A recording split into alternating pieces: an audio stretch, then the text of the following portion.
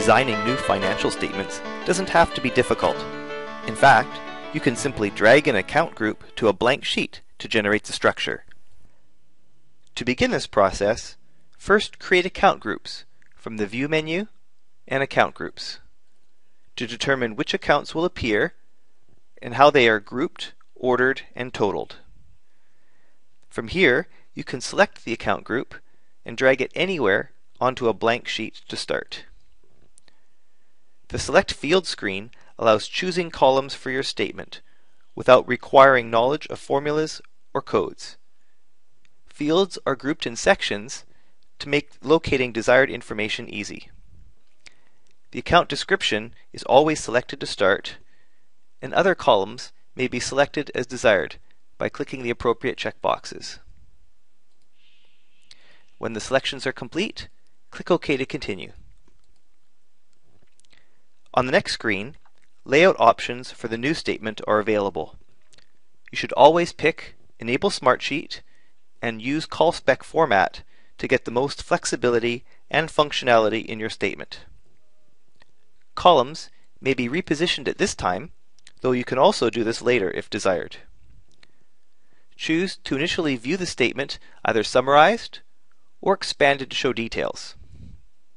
And for spacing considerations, you may also want to insert a narrow blank column between each numeric column. Click OK to complete this process.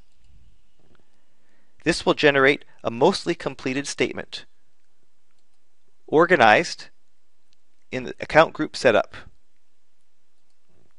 And editing and customization is typically desirable for the finished result. Statements can be defined on other tabs of this workbook in the same way.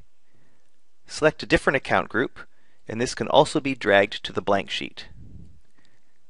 Selected fields from previous creations of statements will be remembered for ease of use when making multiple similar statements. To clear the selection list, click the Clear Selections button. Choose appropriate fields for this statement, and when you continue and would like to see separate debits and credits in columns, choose the Separate Debit and Credit Columns option. Creating this sheet will have the debits and the credits in different columns.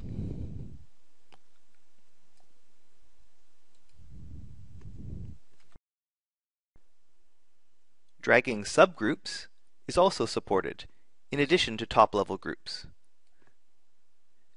When selecting numeric columns, you may choose to compare each selection across multiple departments, each as a different column. To create such a statement, enable the Departmental Comparative option. From here, you can select one or more departments, including those that are departmental ranges or masks. Also sum all of your departments or just those that are selected for the statement.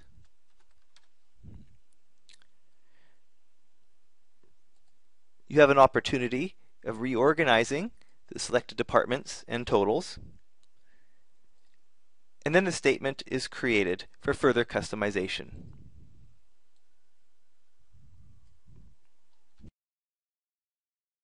Get a head start on financial statement design with a drag and a drop. For more information about Adagio Accounting, use these on-screen links or from the video description. Thanks for watching.